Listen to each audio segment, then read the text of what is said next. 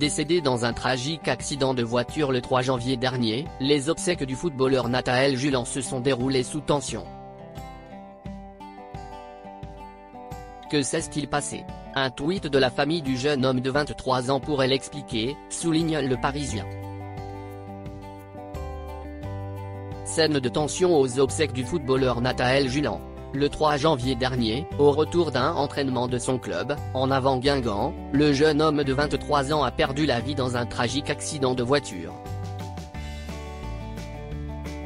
Ce 16 janvier marquait la date de la cérémonie d'adieu à la cathédrale Notre-Dame du Havre, qui s'est déroulée dans une atmosphère tendue. Mais que s'est-il passé? La famille Julan avait fait circuler un communiqué le 14 janvier, dans lequel elle demandait à certaines personnes de ne pas être présentes. Est sur Twitter que la famille du jeune footballeur décédé a publié la liste de ceux qui n'étaient pas les bienvenus à l'enterrement. Les Julans expliquaient leur décision en faisant référence aux événements qui ont précédé le décès.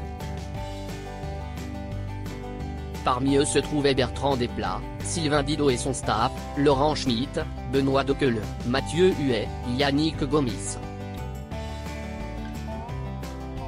Soit le président du club, l'entraîneur, des joueurs et un journaliste sportif local.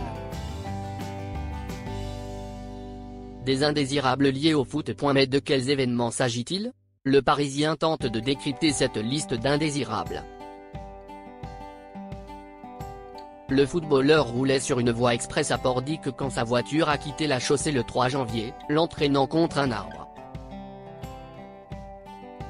Il est décédé sur les lieux de l'accident suite à un arrêt cardio-respiratoire, a rapporté la. C'était au retour d'un entraînement rappelle le quotidien. Le dirigeant et l'entraîneur du club avaient pris la décision d'écarter Julan de l'équipe première pour manque de professionnalisme précise-t-il. En cause, une rencontre où il s'était présenté blessé suite à un match réalisé la veille avec des amis.